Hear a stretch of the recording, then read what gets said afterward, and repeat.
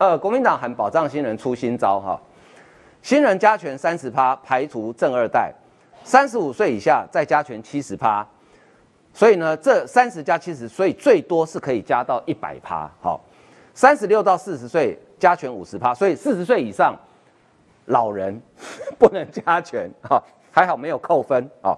那前国民党青年部副主任张委员，他今年三十八岁，他是在这里，还要选松信，在国民党服务七年，参选加权是三十加五十哦，因为他是新人加三十，然后再加上这个五十，成效不如新人加权一百，好，所以他很闷，好，然后呢，不演了新闻台，这个是这好像应该是那个朱朱凯翔的嘛，哈，他就讲。结果呢，就是年龄加权的意义就是三十岁杀三十五岁，三十五岁杀四十岁，然后五十岁、六十岁翘二郎腿坐等提名，感觉这有点像丛林法则哈。然后呢，呃，四十岁的幕僚世代过去被老一辈卡多年，如今晚一辈，呃，民调直接加权一倍，经验资历反而成为诅咒，成为被牺牲的一代。好，张委员是说，有很多比较资深的幕僚世代，他过去的青春年华都奉献给国民党，那这次要出来参选。难道因为年纪的关系就比别人差吗？台北市议员游淑慧是说，应该考虑定定年资加权，鼓励年轻人愿意在国民党先从幕僚助理历练开始，不是为了年龄加权抢着参选。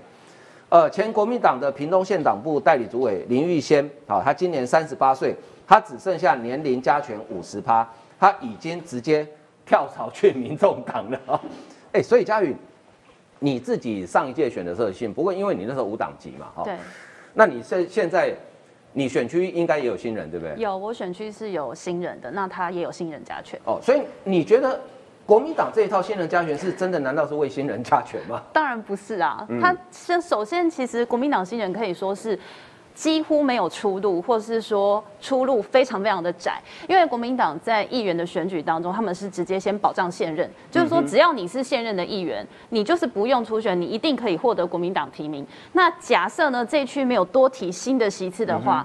那这一区等于就不会有国民党的新人出来参选了。嗯哼。那今天这个今天这个加权条件等于是说，哦，这个选区有提名一席新人的话，那这个假设有五个新人要参选，大家再来选。那所以这个其实就是假公平，假提吸年轻人，这其实一切都是假的。那昨天我看到那个百分之百，其实我非常的惊讶。大家知道这个电话民调其实一向以来。竞争都是很激烈，你可能打了五千通，当中有效的只有一千出头通而已。所以呢，假设五个人去参加这个电话民调的初选，那个每一个人呢，电话大概都差一到五通而已。那在这么微小的差距当中，你新人最多可以加到一百趴加倍的话，这等于就是有。一个很不公平的待遇嘛，加上这个条件又是以年龄，所以最近国民党的新人最夯的就问说：你现在几岁？你是四十岁以下，还是你是三十五岁以下，还是你是三十岁以下？年龄越轻的加。越多，这个加权分数越多嘛，那反而有一些有年资的、有经历的，他可能因为年龄稍大，他可能就丧失了这个加比较多分的机会。那这个加权等于来说，其实是比较不公平的，所以也导致说很多人会觉得这个制度很奇怪啊，然后百分之百实在太夸张了，造成反而说现在其实是新人在相杀啦。那现任人就坐在那边等嘛，反正我就已经保障提名了，我就等新人一个出来跟我选就好了，不会影响到我这样。因为其实呃，观众朋友可能还。还不是很清楚国民党这个所谓的新人加权 N 加一哈，呃，我就以叶云之所在的板桥区来讲哈，你选区现任几个？六席，五个，五个，对不对？所以好，就他们现任五个人哈，除非说呃有人说我不选了，哦，我我要退休了，或者是说我要去做生意了，你才会空出来。如果说假设他们五个人都要选的话，就是五席全部先提名。那新人在什么板桥区的新人在什么样情况之下有机会呢？就是。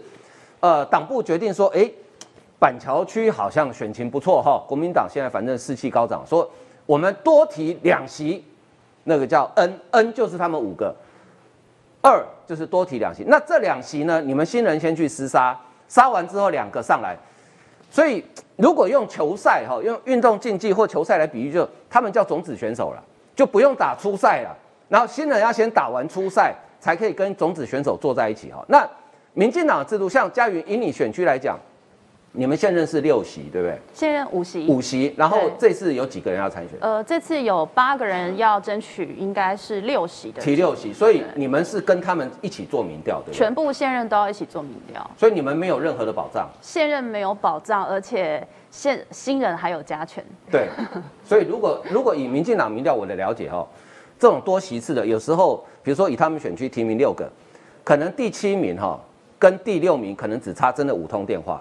那第七名如果是新人一加加二十趴，他可能会把第六名干掉。就挤掉了。对，就就可能直接会把第六名挤掉哈。所以，所以国民党这个真的是为了为了新人吗？我真的觉得，国民党为什么会设出这这一种制度啊？原之，你有没有话要讲一下？我我解释一下啊，其实是这样，就是说，我们我们我有以我为例啊，像我二零一八年的时候，我那时候是新人嘛，哈，那时候国民党是预计提名五席，可是现任只有四个，所以有多一个新人空间，那新的人就去抢那个新的空间，老的就直接保障。对所以我那我当时有两个对手了，其实蛮硬的哈，其中有一个还是前议员。那当然，我非常认真努力获得乡亲的支持，所以我初选就过了。后来后来参与大选嘛。那这一次，因为我们上一次国民党在板桥选的不错，所以五席提名五席全上。嗯哼。所以呢，如果要适用新的制度怎么办呢？党部会现在问我们，他就说，请问一下，你们要不要 N 加一？如果你要 N 加一的话，就等于是要提名六席。那提名六席的话，你们现任五个就直接直接提名了。等一下，我先打断你一下。嗯你觉得这么蠢的问题有需要问吗？站在现任者的立场，当然就五个就好了。你 N 加一，哎，到时候谁落选啊？可是我们，可是我，我就我了解，我们同党的现任的有说他想 N 加一啊，他也许说他他的基本盘很稳啊，他的可能他有组织票，他固定就两万票，提名几个他都两万票，所以他想要 N 加一啊。那对我而言，我就不想 N 加一，我觉得如果说 N 加一就等于提到六个，那那国民党现在，对不起，国民党国民党现在是九。板桥提九个，呃，板桥总共选九个，里面国民党已经五个了呢。那你提六个是九个，你你要提六个，那你当民进党是塑胶哦。那你 你提那么多的情况之下，票源分散，搞不好你掉更多嘛。所以我就比较主张说，那新人跟老的就一起进来初选，所以会面临这个面临这个状况。那如果说矿哥你问我的话，其实我觉得制度有点太复杂，我觉得应该是这样子，就是说党部先去盘点到底在以以新北市来说，哪一区国民党。比如说三重、泸州，国民党到底有几席的实力啊？比如说五席的实力，好，那这五席就老的、新的就一起出来，不管是那就民进党就跟民进党一样对啊那你新人还是给他加权没关系啊，加分啊你还是给他加权啊，加一百趴也没关系啊，就就大家加一百趴关系很大。但现但现任的我对原。之有信心啊，加一百趴还是？但我我觉得新人去参选确实是很很辛苦。为什么？像我那时候我我参加初选过嘛，我我离开新北市政府去初选，非常辛苦。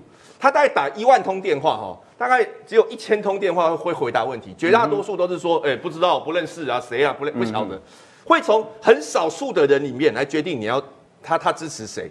那如果这种情况之下，新人能够得到大家支持的比例真的很困难，所以我会觉得说给他们多一点机会是无所谓。可是你把制度搞那么复杂，你去你让现任优先，然后新人杀新人，这确实就是失去了你保障他的意义啦，然后也也让大家反弹那么激烈啦。你是板桥区嘛？板桥区对，所以你跟那个新北市党部主委何伯文同区嘛，对不对？。对对对对所以你们要提名 N 加一，就是五加一。对，如果说我们现有新人要进来，然后我们板现任总共九席，九席对应选九席，所以你们要提六席。现在还不知道，现在你们真的不怕何伯文发飙吗？你觉得你真的把何伯文当塑胶吗不？是啊，因为民进党一定提五个的啊，然后现在还有民众党虎视眈眈啊，所以民进党加民众党就六个嘞。